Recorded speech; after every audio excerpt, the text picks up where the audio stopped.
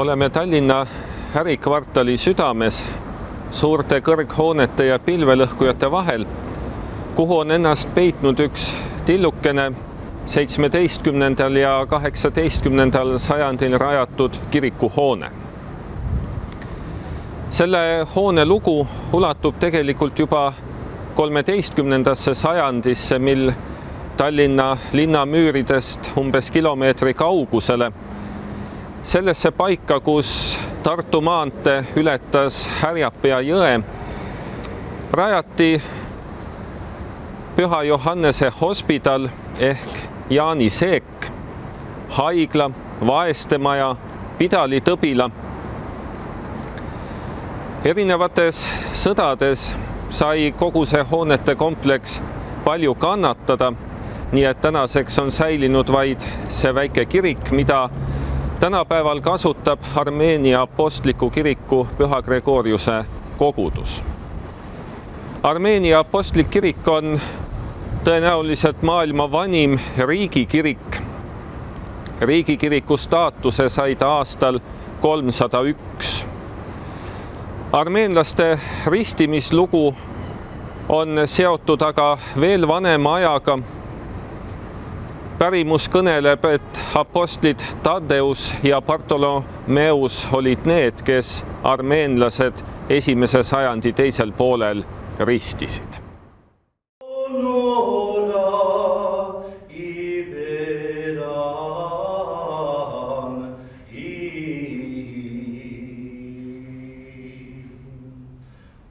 oleme täna tulnud Armeenia Apostliku Kiriku Püha Gregoriuse kogudusse siia kirikusse, kus äsja on lõppenud liturgia. ja minu vestluskaaslaseks on täna selle koguduse preestri abiteenija Armen Andranikjan. esimene küsimus olekski, mis on Armeenia kiriku eripära? Armeenia kiriku eripära esimene, et äh, siin liturgia teenused äh, viiakse läbi armeenia keeles. ja äh, mis on veel oluline, et olemas vana armeenia keel, mitte praegune nagu kaasaegne, vaid kirik ikka hoiab vanaaegse selle keele kasutamist siiamaani ja selle, sellega ta on omapärane. ja me räägime nii, et Armeenia äh, apostlik kirik kuulub ikka äh, ortodoksia õigeusu kiriku hulka ja vaatamata sellele kasutab oreli. meil on praegu äh, olemas Itaaliast toodud viskand suurepärane orel, mis me kasutame liturgia ajal. liturgia nimeks on patarak ja iseenesest patarak tähendabki äh, ohver, noh, Jeesuse Kristuse ohvri selle kogu äh, mõttega ja siin on väga palju huvitavaid fakte seotud Armeenia apostliku kirikuga, sest riiklikult ta on tunnustatud juba neljanda sajandi alguses, kolmesaja esimesel aastal Püha Gregorius asutas Armeenia äh, apostliku kiriku, seal oli Vana-Armeenias, kus Tardat kuningas ise võttis vastu kristliku äh, usku ja peale seda ta äh, sai ristitud ja väga palju sakramentaal, ütleme või sellise, selle pärandi Armeenia kirikus, millega me siiamaani veel tähistame need pühad. Näiteks sellel aastal Armeenia apostliku kiriku poolt pühitsetakse õli ja õli kasutavad paljud kirikud, vanad kirikud, katoliku kirik, ortodoksi kirik. esimesel sajandil apostel Taudeus ise tõi õli Armeeniasse. üldiselt räägivad, et äh, esimesed krist, kristlikud kogudused olid asutatud Jeesuse Kristuse äh, kahte apostlite poolt, Bartolomeus ja Tadeus ja Tadeus tõi õli ja isegi esimene Armeenia kuningas esimesel sajandil, Edessia Abgar kuningas oli võitud selle õliga ja ta sai terveks. ja peale seda Tadeus oli kuskil hoidnud ühe puu all ja Tarun sellises linnas ja peale seda püha Gregorius mitusada, saja aasta pärast ilmutuse kaudu leidis seda koha ja ta võttis kuskil purgis see õli ja segas oma poolt pühitsetud õliga. ja selle, sellega ma soovin rääkida, et eripärasus ongi see, et toimus edasi nagu suksessioon, eks ju, edasi nagu äh, pärandina jätkamine, see pühitsetud õli siiamaani veel kasutusel Armeenia kirikus. tähendab, iga seitsme aasta tagant äh, korjavad nelikümne erinevate lillede äh, ja taimede selline kogumik ja pärast pannakse nelikümmend päeva äh, Armeenia Echmiadzinis mis on meie püha tool ja seal hoiavad nii kaua, kui sa iseenesest nagu valmib. ja peale seda äh, toimub suur selline äh, tseremoonia, liturgia, mille kaudu äh, pühitsevad uut õli, aga see vana ikka segatakse, sellega nagu on võimalik selline pühadus, püha selline pärand ikka kirikus omada ja mis on veel äh, oluline, et äh, relikviumid on palju Armeenia kirikus, tähendab äh, näiteks oda, millega oli Jeesuse Kristuse külg risti peal. tähendab, tema see oda oli ikka ta eda, edasi meile jäetud, sellepärast kolmesaja esimesel aastal, kui äh, kristlik kirik sai riiklikuks kirikuks, siis see oda läks omandiks. Praegu Armeenia äh, Echmiadzinis, mis on väike linn nagu siin Tallinn ja Tartu, Echmiadzinis ongi muuseumis see relik-, relikvia. tähendab äh, mõned kirikud, näiteks Vatikanis on olemas, nemad ka räägivad, et see on ka oda ja samuti näiteks Krakowis on olemas see oda, aga kõik need allikad tunnistavad, et kohe esimesed nagu need allikad. Räägivad sellest, et see, see ongi nagu, nagu see oda, mis on Armeenia kirikus ikka kõige originaalne. Ja seda oli kasutanud isegi Jakobus kes äh, pühitses äh, ka mürra. tähendab, mis on veel oluline Armeenia äh, kirikus, et, et näiteks armulaua andmisel meie ei sega näiteks veinaga vett, mõned seda teevad, kirikud, te teate seda. ja sakramentaalosades meil on seitse sakramenti ja see, nende hulgas ongi näiteks pitseerimine sellesama õliga toimub. mis on veel oluline teada, et Armeenia apostlik kirik tunnistab kiriku esimesed kirikukogud, mis on Nigeia kolmesaja kahekümne viienda aasta Äh, Eh, mission on Konstantinopolii, eh, mis on kolme 180 aasta ja eh, samuti Efesose kirikukoku, mission on 40 kolm, äh, neljasaja, vabandust, neljasaja kolmekümne esimesel aastal toimunud. peale seda oli Kalkedoni see kirikukogu, seda Armenia kirik enam ei tunnistanud, sest Dvinis äh, toimunud äh, kirikukogus, Armenia kirikukogus, on otsustatud, et see põhiline, see dogma õpetus kiriku kirikute, üldise kiriku suhtes, kristliku kiriku suhtes ongi paika pandud esimese kolme kirikute äh, kogude poolt. Ja peale seda juba ta hoiab need äh, ütleme, baasilised nagu põhjalikud need õpetused kiriku ehitamiseks tähendab, mis on veel eripärasus, et Armeenia kirik üle maailma, kus on armeenlased üldiselt, nad ehitavad kindlasti kirikut ja omapärane arhitektuur on olemas, enamus ehitavad kividest ja miks ma selle, seda rõhutan, et on olemas selline ristkivi alati pannakse ristkivi, kus me praegu oleme Tallinnas Jaanisegi kiriku kõrval, kus Armeenia kirik siin asub. kohe me, me saaksime märgata, et on olemas ristkivi, mis on toodud Armeeniast. Äh, see oli kahe tuhande esimesel aastal, kui me äh, siin tähistasime äh, Armeenia kristluse tuhat seitsesaja aasta juubelit ja see oli suur sündmus ja igal pool äh, tulid ja veel äh, me peame rääkima, et äh, selline ütleme, mitte ainult isad, te teate, kiriku isad on olemas, pühakod olemas, kes on nende hulgas palju mungad. Nad elasid ja jätsid meile suurepärased pärandid, selle usupärand, aga Nendest äh, on veel, saab rääkida Grigor Narekatsi, äh, kes äh, vaimu, kes oli vaimulik ja ütleme, patukahetsuse neid teoseid nagu Vana Testamendis isegi ütleme, kuningas Taavet ja need laulud, vot sellise moodi on kirjutatud lauluraamat, mille nimi on Grigor Naregatsi äh, Madian Vuhbelkutjan, tähendab äh, need laulud.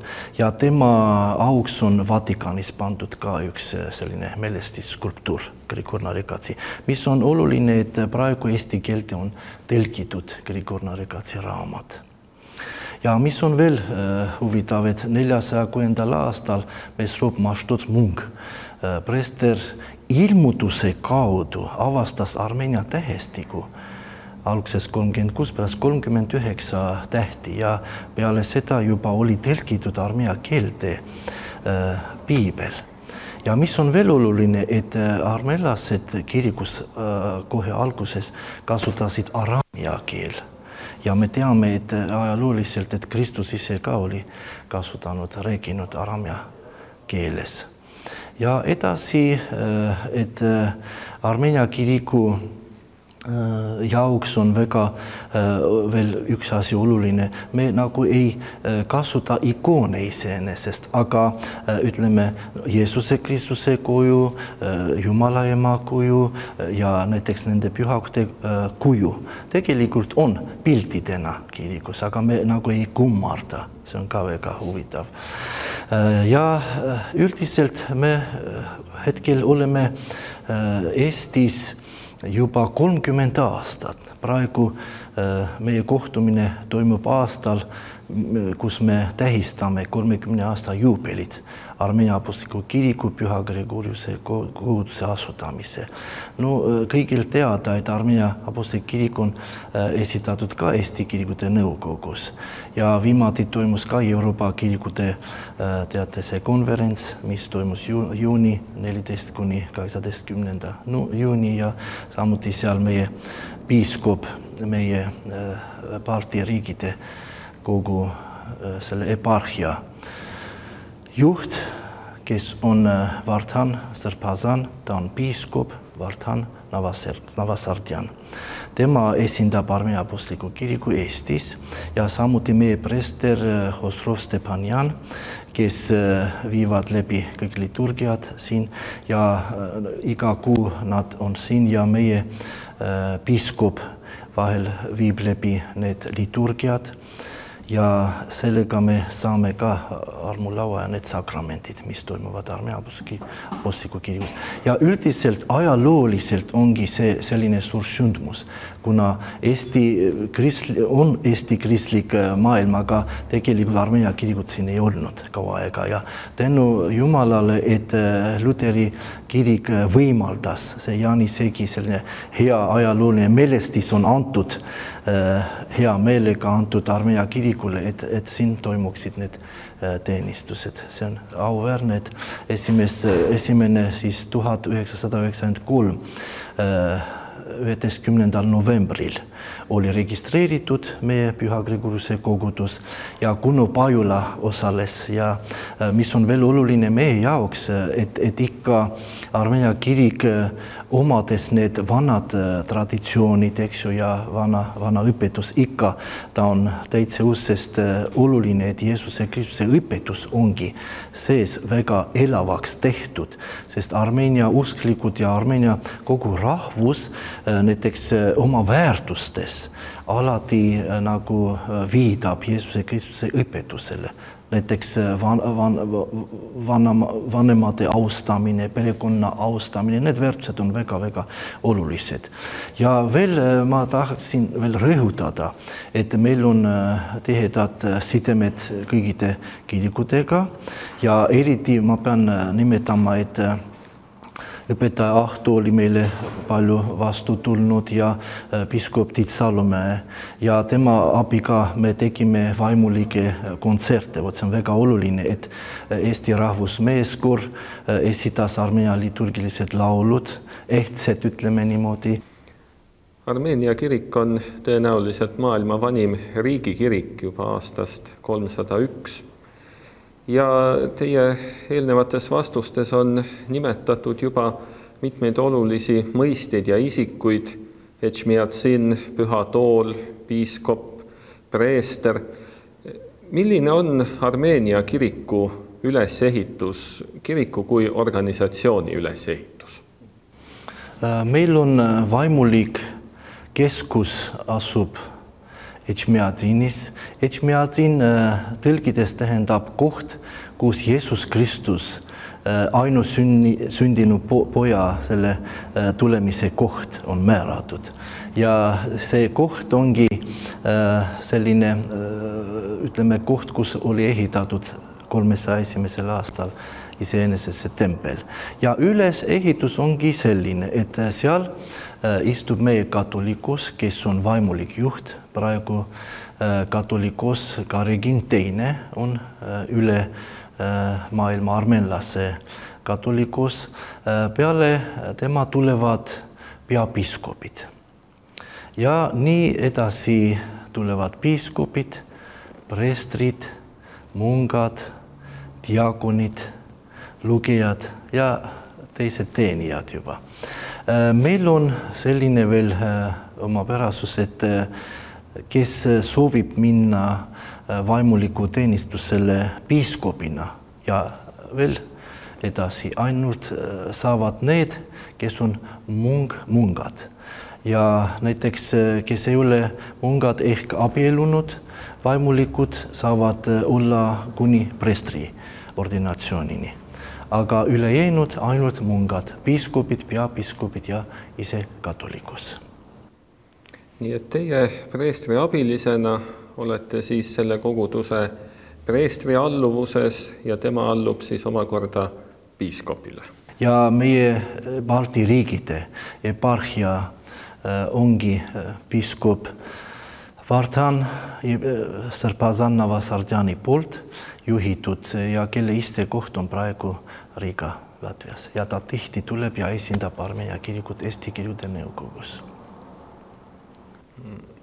Teie vastustes on olnud juttu ka Armeenia kiriku liturgiast, et kasutusel on eriline liturgia keel, armeenia keele vanem variant ja et armulaual ei segata veini hulka vett. kuidas võiks üldse Armeenia kiriku liturgiat kirjeldada?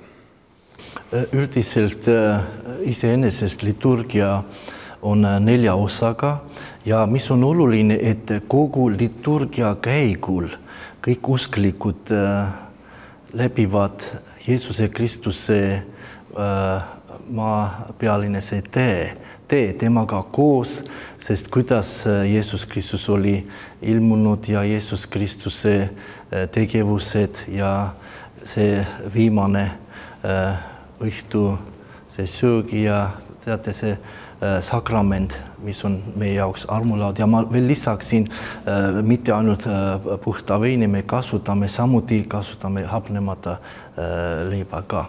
ja see, see on sakraal selline osa äh, peale seda äh, liturgia jooksul ikka need mõisted, et Jeesus Kristus oli äh, andnud, ohverdanud oma elu meie päästmiseks ja samamoodi Jeesus Kristus on üles tõusnud surnuist, mis on meie äh, võit nagu meie elluviimine. Äh, ja Jeesus Kristus, see taeva minemise ka samamoodi liturgiaga tähistatud. Ja see lõpuosa koosneb püha vaimu nende annete äh, jagamisega. ja kogu see mõiste ongi, et Jeesuse Kristuse äh, see pärand, kogu pärand oleks läbi elatud, sest isegi need sakraalosad, osad patukahetsus näiteks ja äh, see armulau, lauast osavõtmine, meie palved, kõik toimuvad ühe liturgia käigul ja üldiselt liturgia ja, jagatakse nel, neljaks osaks vot niimoodi toimubki.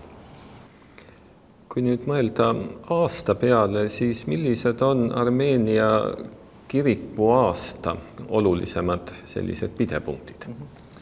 meil on olemas äh, äh, näiteks, mis on oluline veel, ma ütleksin, et näiteks jõulud, Jeesuse Kristuse sünni sünniga seotud äh, oluline öelda, et kaua aega Armeenia kirik oli kasutanud Julianuse kalendari, aga äh, alates tuhat üheksasada kakskümmend kolm äh, katolikus äh, Georg Viie käsu järgi me juba võtsime vastu Gregoriani kalendari.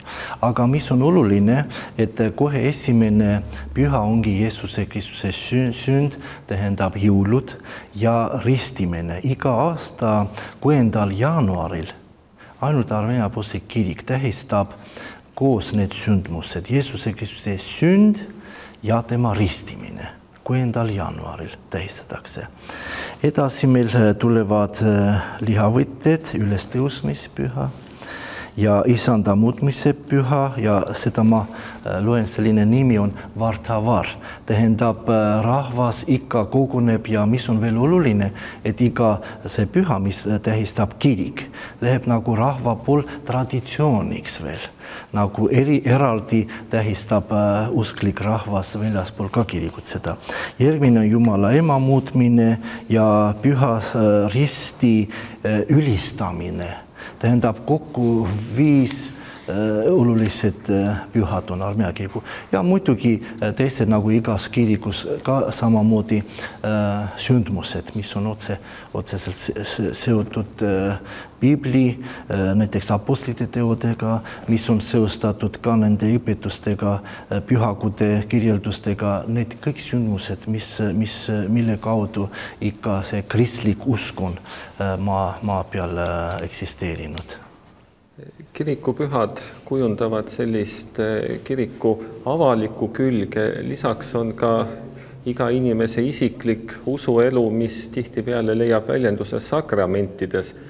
millised on Armeenia kiriku sakramendid? Armeenia kirikus on seitse sakramenti.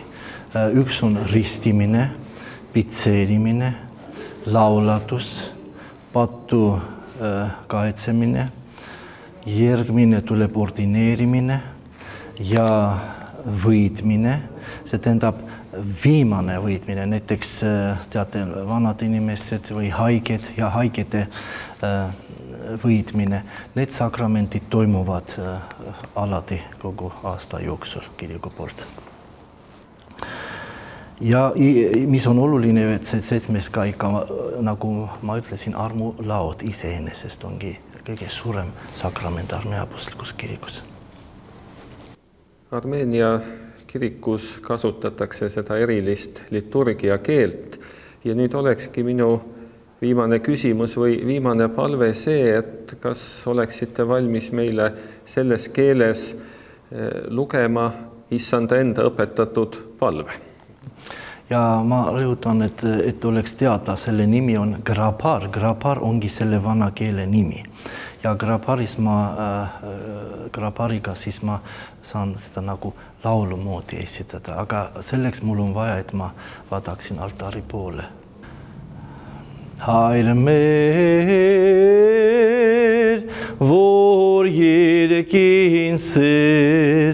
Sur bieti anun ko yekesse arka yutun ko yehiti կամքո որպես երկինս եւ երկրի սած մեր անապազորդ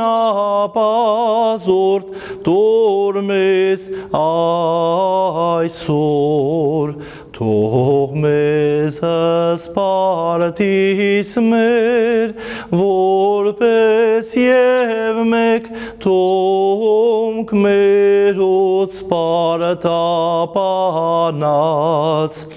Եվ մի տանիր զմեսի փորձություն Այլ պարկյայի ճան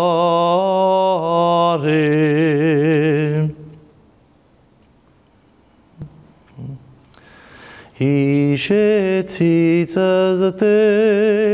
ամենայն ժամ, ամենայն ժամ, օրնություն նորա իբերան իմ